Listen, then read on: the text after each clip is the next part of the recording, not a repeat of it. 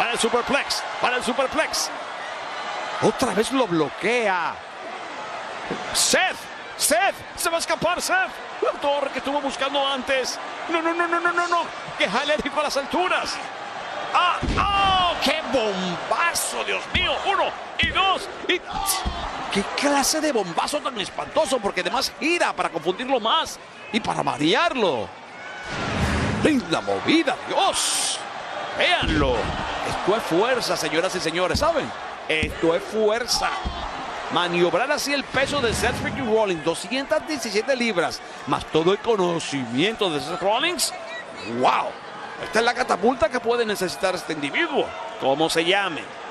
Vamos a diferir en eso. Patada al rostro con el antebrazo a ropa. Bloquea, sin embargo, cualquier intención. Ezekiel y vuelve a recibir. Tú verás si yo te doy en el centro del ring. Estamos en vivo, celebrando la independencia de los Estados Unidos. ¡Fua! ¡Fua! ¡Fua! ¡Fua! Y, y, y. Oh, oh, bien más tupido, bien más tupido. Directamente a la cabeza. Lo bloquea. No falló el lazo. La navajita. Uno y dos. Sería garrafal para Seth. ¡Oh, no, no, no! El paquetito le puso el número en la casa. Uno, dos. Cuidado con la cuna que no hay bebé. ¡Ah! Detenido en seco. Desnucado. No, no, no. La tabla marina. La tabla marina. No, no, no. Uno y dos. Pisotón. Papita, maní, doctor. Bueno. El ganador es Seth Freaking Rollins. Amigos, siempre lo digo, se necesitan dos para bailar un buen tango. Y creo que Ezekiel, vamos a suponer que se llame así, le dio el gran combate a Freaking Rollins. Y de eso se trata.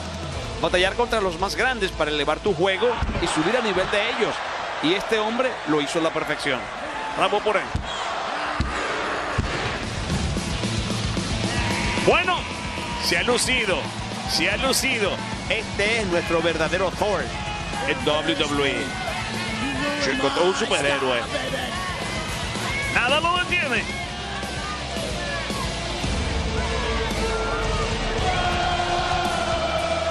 Se vengó de la camisa y me parece que no quedó contento. No, no quedó contento. Seguro se acordó de la camisa, ¿saben? Y viene por más, viene por más.